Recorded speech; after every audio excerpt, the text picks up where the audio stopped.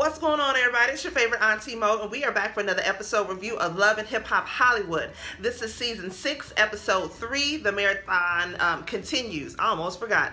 Before we get into the review, if you have not done so just yet, go ahead and subscribe to my channel. Let me know what you think of this video with the thumbs up or thumbs down, and hit the notification button so you will know whenever I upload new content.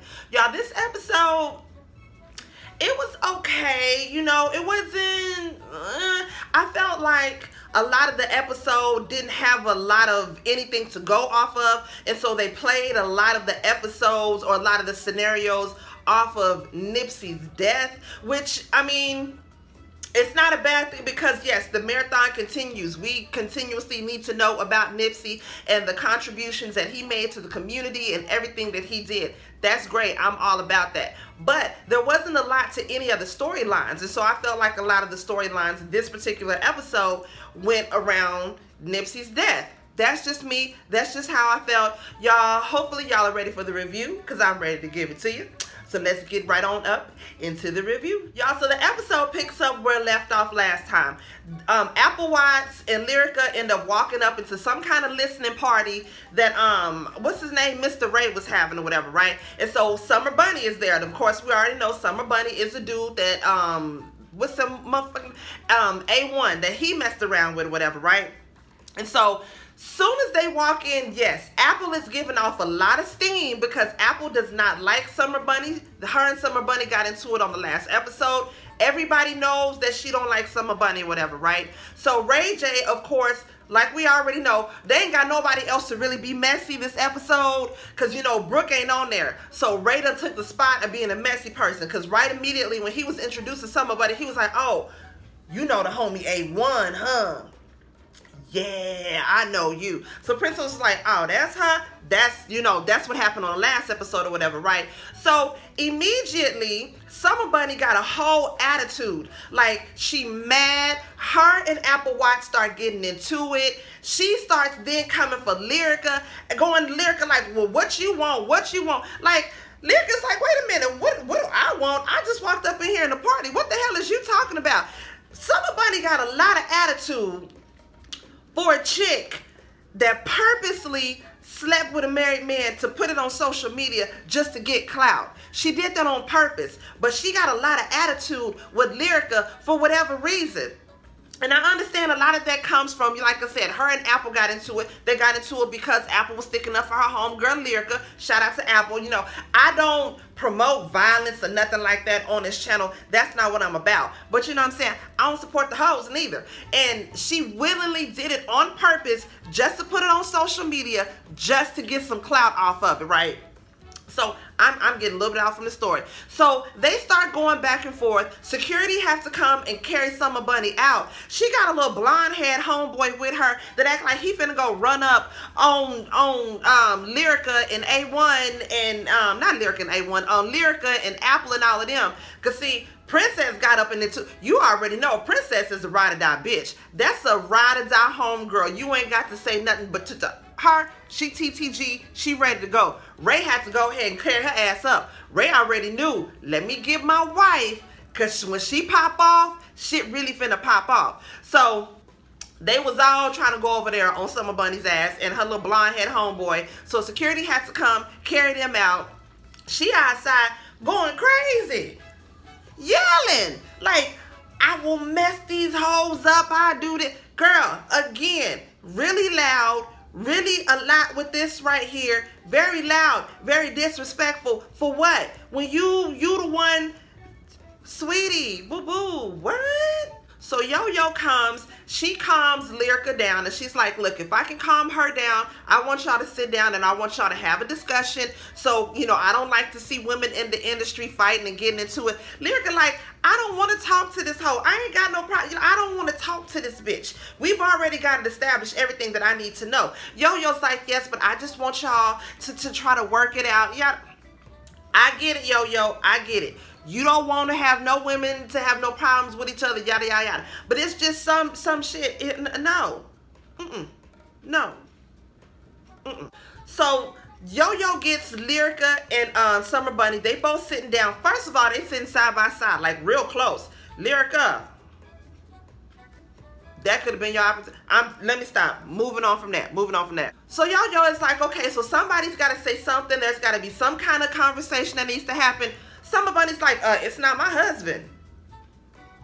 Strike one right there. That would have been the end of the conversation right there. You already coming at me sideways, disrespectful and all of this shit. It don't matter. Nothing else. It don't matter. It don't matter. That would have been the end of the discussion right there. But they continued on. So Lyrica asked her, so what's up? Did you mess around with my husband? I seen y'all on a FaceTime. Like, what was it? Summer Bunni was like, yeah, a FaceTime. Mm-hmm, that's what it was. So Lyrica's like, all right, you know what? That's all I needed to hear. Everybody have a blessed night. Whoop-de-whoop. I'm out. She walk outside or whatever. Soon as she outside waiting on her, on her car, Summer Bunni come outside. Lyrica's like, okay, what? What? What you got to say? Summer Bunni gonna have the nerve to say, it's hard for me to come to you as a woman, but I'm coming to you as a woman to let you know that yes, A1 and I did have something going on. We have had sex. And um, Lyrica asked her how many times, like it even goddamn matter. She said it happened a couple of times, multiple times. And she was like, okay, that's all I wanted to know. I don't understand why you got all this anger and this animosity towards me. Summer Bunni's like, because you've been talking shit about me in the blogs. You've been talking crap about me in the blogs, yada, yada, yada. Lyrica's like, look here. I ain't said nothing about you. You ain't heard nothing about your name come out my mouth, period. You got all this animosity towards me, towards what? Somebody's like, no, you need to take that. You need to take that towards your husband. She gets mad, like somebody did her wrong. She walks off, and Lyrica's like, yeah, bitch, whatever, bye, yeah, yeah. She was like, yeah, bye. Hopefully, I won't sleep with your husband again. Bitch, what? Girl, Lyrica, I give it to you. You had a whole lot of restraint. Because any other woman in your position would have took her whole head off her body. That was absolutely disrespectful. And look here, this is what I'm saying. It's it don't make it right one way or the other whether she knew that they were married whether she didn't know about them being married she knew that he was married and like lyrica said they are public with it she did it on purpose on purpose just to put it out there in the public, just to, to ruin their marriage on purpose. If you really wanted her to know, if you wanted to come to her woman to woman, you could have sent her some in her DMs. It couldn't have been nobody that knew that but y'all three. But you didn't want just her to know. You wanted the world to know that. And that's what's so messed up about it. That's why people shouldn't have no respect or nothing for you for that. And it's like, I don't know if she's trying to redo her image, but girl, Boo boo. You coming at the wife for the wife getting mad for you exposing her husband because you did it on purpose. Like you saying that you mad because people are coming at you in the blogs, but you giving them something to talk about in the blogs. I'm just saying, if it walk like a duck, talk like a duck, quack like a duck, bitch, it's a duck. Y'all, so everybody gets word of Nipsey's death. Everybody's mourning him. Yo-Yo and Apple go out to his store, The Marathon, because of course, you know, they're from Crenshaw. They're from that whole neighborhood and all that. So they go out there to the store to pay their respects to him because, you know, everybody's in mourning. The whole city is in mourning. Yo-Yo remembers when she met Nipsey, um, he came into the store. He had his daughter Imani with him. He had his music bumping. Everybody was respecting him. He was the man on the city on the block. They out there paying respects. Big ups to Nipsey Hussle. Nipsey Hussle. We love you. We miss you. Moving on from that. Y'all, Apryl Jones, Zell Swag, and Paris, y'all. Their ass is working out on the hill. I like Zell Swags. I thought he was crazy as hell when he wasn't on the last season, season before that. When he damn near beat the brakes off of uh, Mr. Ray He's on there now. He said he recognized that he was crazy as hell back then, so he's changed his ways. He cut his hair off. He done worked out. I like Zell. That's my boy. And I like Paris, too. Paris, as we know, is the one that got into it with K. Michelle. K. Michelle tried to drag this girl name through the mud. And I like K. Michelle, but I don't like that she tried to do that girl like that to this day, I don't like that she tried to do that girl like that. Regardless of what she did or didn't do, I don't like that she tried to drag that girl like that. Anyways, they are working out because Paris is saying that she wants to lose some weight so she can get into more roles. She don't want to be, you know, the, the big sidekick or whatever. Basically, they just trying to work out, trying to lose some weight, yada yada yada. Right? Whoop whoop. So Apryl is um, telling them how she went to K Michelle's listening party and how she met this girl named Danny B. I think that was her, or Brittany B. That was her name, Brittany B and how Brittany B was basically trying to downplay everything that she had done or so far as an artist and how she was possibly thinking about going on tour with Moniece when Moniece had invited her to go on tour with her. Now, I'm with them. They they were clowning her like, y'all shit, we be better off going on tour than y'all would like now, now one of y'all really got a whole lot of talent, talent to be going on tour to do something like that. So we gonna see what happened from that, y'all. It wasn't a whole lot to happen that. That whole little scene was boring. But I just like Zellz and I like Paris. So Hey. Now next we got Fizz is Spectacular. They going to um, see Jack at the radio station. They're talking about, you know, how they're on tour with B2K and the whole Millennium thing right now. And uh, Pretty Ricky is on tour. Jack is asking them how's everything going on tour. Is everybody getting along? Because of course we know it's a whole bunch of drama. Fizz is talking about how Raz is going in and out of quitting the group, then he back. Quitting the group, quit, uh, coming back, yada, yada, yada. So he's saying that, you know, hopefully they can work things out through the rest of the tour so they can get that bag what they're trying to get through. The same thing with um spectacular. He's saying that so far so good on the road with pretty ricky. Yes they got their ups and downs but everybody's pretty much on the same page when it comes to getting his bag getting his coin getting his money. And of course they're talking about nipsey's death as well how it impacted them. I did not know that fizz was a slauson boy as well. He was from crenshaw. I knew he was from the hood in california. I didn't know he was from crenshaw though Shout out to them Slauson boys, okay? So he was talking about how he met Nipsey, how they talked about being young hustlers back in the day when they were kids, how they wanted to come up, how they wanted to help the community, yada, yada, yada. It was really cute. They was at the radio station, y'all. What up, Jack? Let your homegirl come on one of your radio stations. Let me do an interview. You know what I'm saying?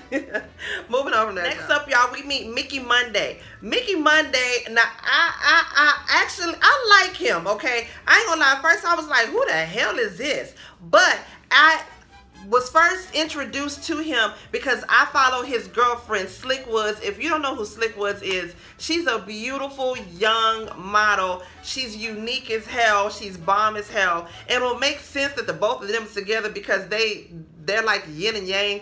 But um, he's this new rapper. He went to the Yo-Yo School of Hip Hop, graduated from there, and um, he's doing like this little listening party, little private listening party, whatever, right? And so Yo-Yo is there, Apple Watts is there, Kurupt is there, and so Kurupt is basically saying like how he basically he's promoting Mickey Monday, saying that he's good, he thinks that he's bomb, you know asking his input how does he think he would be perceived as you know looking? Because when you see mickey monday he's a white boy with long thick curly hair tattoos everywhere don't like to wear no shirt but to wear a jacket like his chesticles out and all of that. Like he's a typical rock and roll looking white boy.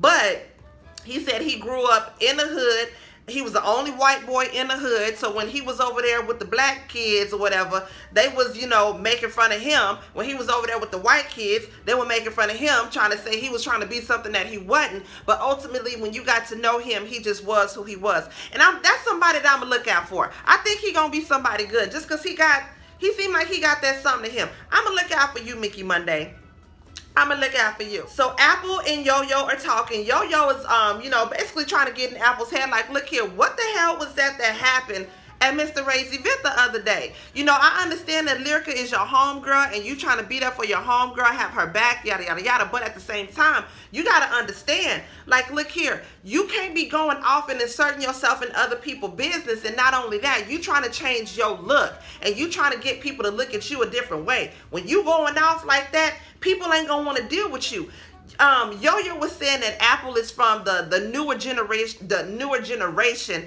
where they quick to go off with their hands and they want to see who bark is bigger and you know who can do this and that, yada yada yada. So I understand what um what Yo-Yo is coming from because I'm old school myself, but at the same time, some of these heifers don't understand when you try to use your words with them. I don't promote violence in no way. I Anybody that knows me know I'd be the first one to tell you I ain't the killer, but damn it, don't push me. Next up, y'all, we have Jason Lee on Hollywood Unlocked. He's talking with Yo Yo. Um, once again, they're talking about Nipsey, Nipsey Hussle's death and how his um, death affected the community, what it did to um, you know, just what it did to everybody. Jason Lee actually shared a story that was really sad. He um, shared a story about how his brother got killed in front of him. He was saying that it was his 19th birthday, I think it was, some, something like that. He was having a party. These two girls got into an argument. One girl pulled out a gun and started shooting. Somebody that was at the party told him, hey, are you Reggie's brother? He was like, yeah. He said, Reggie just got shot. He goes over there, sees his brother. Last thing he says to his brother before his brother dies is that I love you. He starts crying in the studio. It was super sad. Right in that moment, it took that for me to see Jason Lee as a human being because actually this episode when he shared his story about his mom being a prostitute and being addicted to drugs because beforehand if you don't know nothing about jason lee but you just see how he just dogs everybody you don't see him as being a human being. But it took this episode i ain't gonna lie for me to see him it's like okay damn he's a real person. He comes from real pain you know, that could be a reason why he's put up this barrier because he did say after his brother got killed that that caused him to drink a lot, not live his life right. Like he was just out there wild and wasn't taking care of himself. But he did say recently that he's gotten sober, he's starting to take care of himself, and he looks good. I like Jason Lee now. He's on my good list. We might send you a car for Christmas, Jason. Y'all, Mama Pam is back, baby. She back, she got her wigs, and she ready to do the damn thing. She went and picked up A1 from the airport or whatever, right? A1 got, um, he has a performance that night where wherever he's back at Hollywood, that's where he at. He got a performance with T-Pain or whatever that night. So Mama Pam came to pick him up from the airport. So she's picking him up and she's telling him like, look here, I seen everything that went on in the blogs. I need to know, did you mess with Summer Bunni or what? Like she coming at that dude hard now. Side note, Mama Pam. Mama Pam had her nose pierced and she had a Monroe. I got a, I have, um, you know, closed up one right here. But Mama Pam, Mama Pam didn't have no piercers in there. She had full blown earrings in them joints. She didn't have little studs, little cutesy like, ew, eh, ew. No. She had a full on hoop right here and a full heart right here. Like a full one. Like for real, for real. I was like, Mama Pam, what is you doing? Girl, you supposed to have studs in them. Them not for real, for real earrings. Like, what is you doing, Mama Pam? Mama Pam said, you got me messed up. I need to know, nigga. I got to know. Because you need to go and talk to your wife. You got a whole family out here. This is the first time. Shout out to you. Cheers to you, Mama Pam. Because Mama Pam ain't never stood up for Lyrica before. This is the first time that Mama Pam stood up for Lyrica and she was right. You need to go talk to your wife because you out here laying it low, spreading it wide, and it's all up here in the blogs and in the media and stuff. So you need to let your wife know something. Shout out to you, Mama Pam. Cheers to you and your wig and your two earrings. We gonna give you the props that you need, Mama. I ain't even mad at y'all. So B2K performs the whole time. They only got the camera on J Boog and Fizz. I'm guessing um uh Raz B and Omarion was like, uh-uh, I don't want nothing to do with the foolishness. You already know Omarion is over here living his best Zen life. He ain't going back and forth with you niggas. He's living his best life. so the whole time they only showing Fizz and they showing um J Boog. Afterwards, they on the bus. Um Fizz is telling J Boog about how he gave up his place, how he's been crashing over there at Apryl's house, and how Apryl made the suggestion about them moving in together. So J Boog, what? Like, so what y'all are super best friends, superhero warriors? Like, what is going on with y'all? What is all of this? J Boog's only concern is that whatever y'all got going on, long as it don't mess up this here, long as it don't mess up the bag, that's all he worried about. Whatever y'all doing is what y'all doing. I ain't got no business in that. But whatever y'all doing, like he say, it needs to be like Halloween, baby. Y'all need to put a mask on till we get this bag, till we get this coin. I ain't even mad at him. But at this point again, y'all are lying. Everybody already know that y'all are messing around, but you still trying to keep it from everybody and it's let me stop. Um, let me stop. Let me stop. Y'all, so um, Lyrica and her homegirl pop up on A1. He's doing his concert with T-Pain. She backstage or whatever. He, soon as he see her, he lock eyes. He like, oh, damn.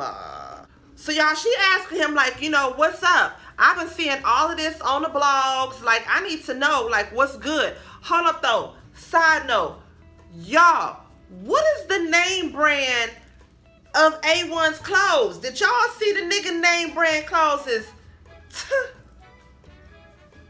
t t t t girl, you know you want that that what is that? What is the name of this name brand? I need to know. What does the T-U-H stand for? Because all I see is But she like, look here, I need to know. I'm asking you straight up. Did you mess with Summer Bunni? It take him a minute. He beating around the bush because her homegirl is there. Her homegirl trying to chime in and all this. She like, look here, boo-boo. I got this. Bitch, I got this. So she like, look here, I'm gonna need you go ahead, step out. You and your big scoop ball head ass security guard and your manager, y'all go get the hell on up on up out of here too. She kicks everybody out. And so she like, A1, what's good? What's good, dude? Are you messing around with this bitch or what? Finally, he does admit that he has had sex with Summer Bunni. She like, all right, that's what's up. That's what's up. Then he says, why are you talking about that's what's up? You did the same thing too, Lyrica. Oh, girl.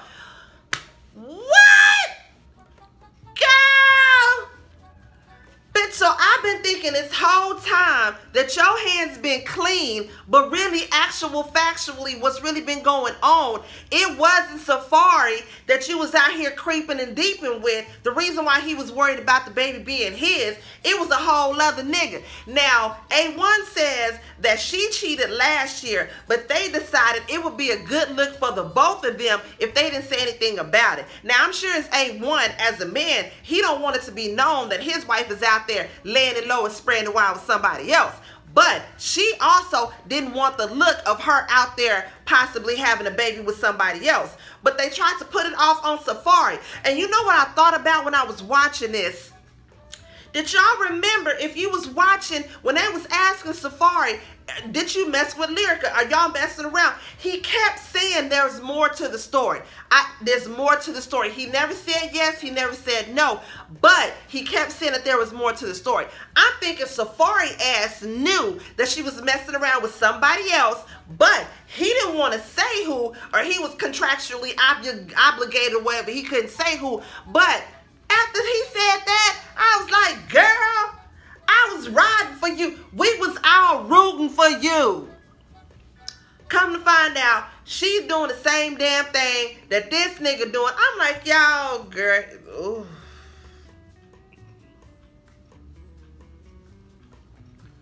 Y'all, at this point, I'm like, look here. Either y'all niggas gonna cheat in peace or y'all gonna get a divorce. Cause this tit for tat that y'all doing, like he say, he cheat, she cheat. He cheat, she cheat. They just going back and forth. So I'm gonna need y'all niggas to either cheat in peace or move on from it. Cause this here, what y'all doing, it ain't right for the baby. It ain't right for the baby. That's all I'm saying. That's all I'm saying.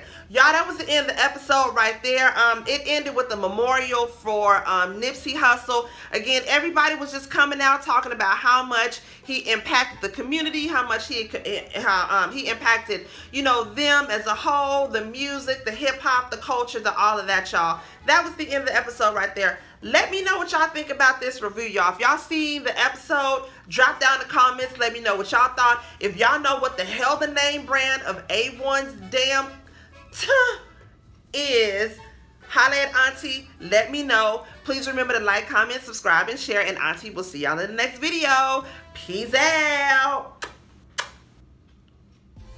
what's up y'all? Do me a favor and share the video. Please make sure to subscribe to my channel.